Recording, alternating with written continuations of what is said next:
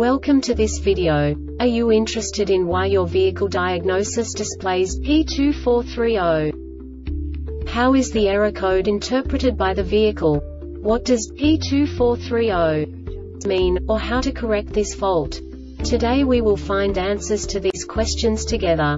Let's do this. First, let's look at the history of diagnostic fault code composition according to the OBD2 protocol, which is unified for all automakers since 2000. We divide the electric system of automobile into the four basic units. Powertrain, body, chassis, network. This distribution is defined in the first character code. If the second character is expressed as zero, it is a standardized error. In the case of numbers 1, 2, 3 it is a more prestigious expression of the car-specific error. The third character specifies a subset of errors. The distribution shown is valid only for the standardized DTC code. Only the last two characters define the specific fault of the group.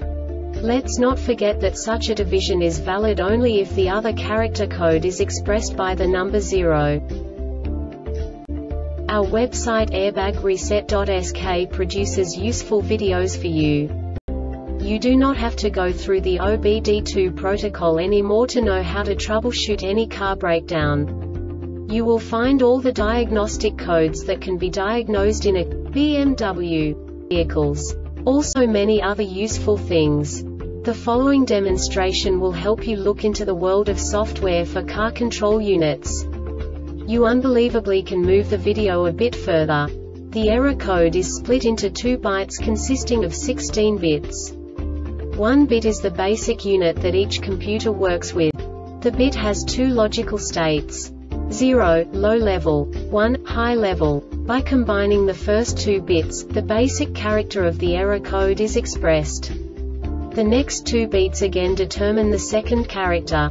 The last beat styles of the first byte define the third character of the code. The second byte is composed of a combination of 8 bits. The first 4 bits determine the fourth character of the code.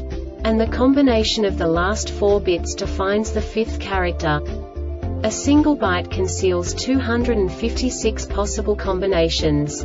We now know in what way the diagnostic tool translates the received information into a more comprehensible format. The number itself does not make sense to us if we cannot assign information about it to what it actually expresses.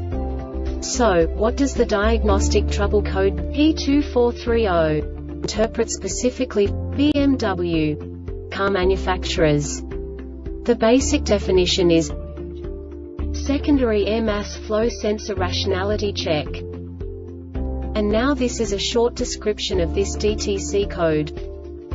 Engine started, battery voltage must be at least 11.5 V, all electrical components must be off, parking brake must be engaged to keep daytime driving lights off, automatic transmission selector must be in park, the exhaust system must be properly sealed.